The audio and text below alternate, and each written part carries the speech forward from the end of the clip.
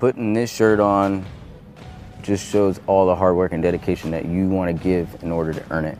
And when you get it, can't nobody say anything to you because you got it and you're out there executing. So they trust you to be able to move aircraft, park aircraft, take care of your fly, take care of your people, take care of the squadron. This is a big deal. And that's why you see only a few doing it instead of many. Aviation boatswain's mates handle, move, spot, and secure aircraft and equipment, and perform rescue, firefighting, and damage control duties in connection with launching and recovering aircraft. The most important thing I've learned throughout the course is definitely safety.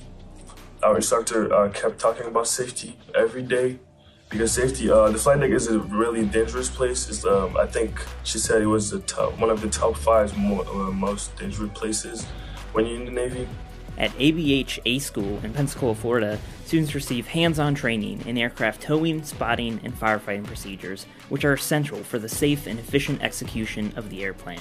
With RL, they actually can see that each point of their job on the screen and actually play along with the screen and really bring, bring to life what they're going to see the curriculum is being modernized through the Ready Relevant Learning Initiative to improve individual sailor performance and enhancing fleet readiness by leveraging training technology that ranges from simple visual demonstration tools to more complex immersive simulators and virtual trainers. Some of the changes to the curriculum are more hands on in a virtual setting, such as if I'm landing a helicopter, I can land a helicopter in the classroom in a virtual setting. Whereas if you go out to the fleet, you can only do it one person at a time. In the virtual setting, I can have 28 students logged in at the same time and they're all landing the helicopter and they can each get individual attention from the instructor.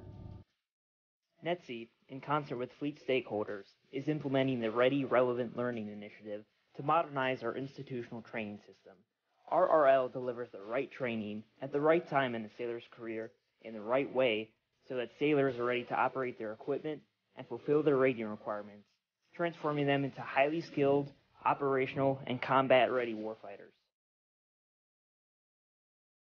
For more information on NETC and RRL, visit our website.